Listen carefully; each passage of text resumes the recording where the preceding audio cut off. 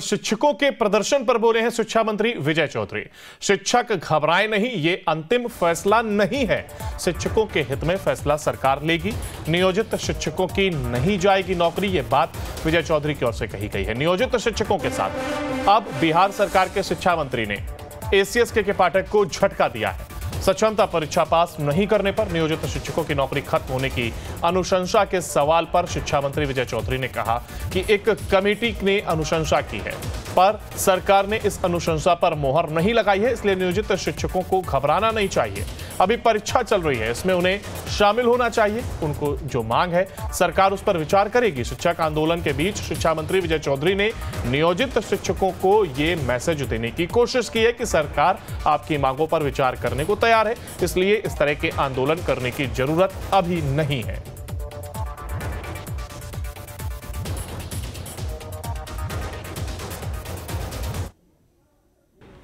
बिना शर्त तो देने की कभी बात नहीं न थी। बिना शर्त देने की बात थी नहीं। लगता है कि लगता है कि कैमरा उठाओ ना कैमरा ये सक्षमता परीक्षा तो ली जा रही है। और ये भी नहीं है कि सक्षमता परीक्षा नहीं पास करेंगे तो उनकी नौकरी नहीं रहेगी। इस संबंध में अंतिम निर्णय नहीं हुआ है।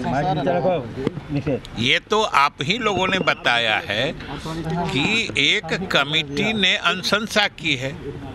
और अभी हमारे ख्याल से शिक्षकों को इतना हड़बड़ाना नहीं चाहिए, इसलिए कि अभी तो सरकार का अंतिम निर्णय हुआ नहीं है।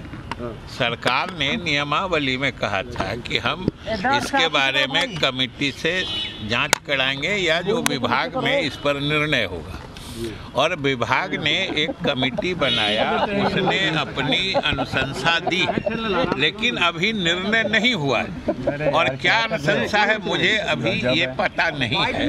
और निश्चित रूप से हम लोग देखेंगे, और जो शिक्षकों का हित है, शिक्षकों का जो पक्ष है, वो भी ज़रूर सुनी जाएगी।